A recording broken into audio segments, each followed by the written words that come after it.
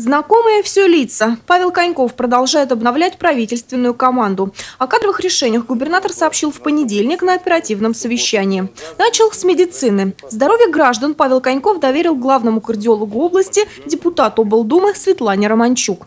Прежде всего, здравоохранение – достаточно сложная сегодня отрасль. Есть существенная недовлетворенность населения – Поэтому я принял решение выделить эту отрасль в самостоятельный блок с непосредственным подчинением себе. И с сегодняшнего дня на должность заместителя председателя правительства Ивановской области, директора департамента здравоохранения Ивановской области назначена Светлана Викторовна Романчук.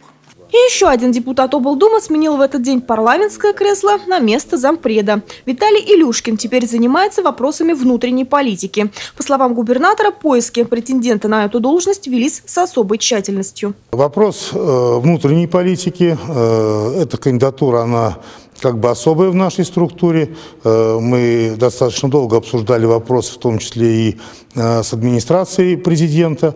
Вот. Вышли решение, что сегодня на эту должность назначить Илюшкин Владимирович как человека э, с большим опытом, высоко квалифицированного в этой области. Сергей Зобнин, ранее возглавлявший администрацию Приволжского района, теперь тоже заместитель губернатора. От Владимира Шарыпова к нему перейдет строительство дорог. На мой взгляд, в комплексе инфраструктуры определенный перегруз.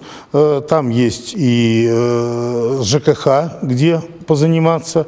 Поэтому я принял решение э, назначить на должность заместителя представителя правительства Сергея Витальевича Зобнина и поручить ему этот комплекс проблем. В перспективе, возможно, мы эту нагрузку увеличим. Он начнет работать, вработается в это дело. Вернулся в команду и бывший начальник департамента дорожного хозяйства и транспорта Александр Ладышкин. На сей раз он возглавит департамент экономического развития и торговли.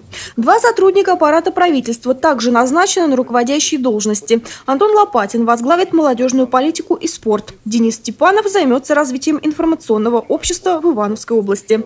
Вакантной по-прежнему остается должность начальника комитета по лесному хозяйству. Елена Белова, Андрей Семиволков, РТВ Иванова.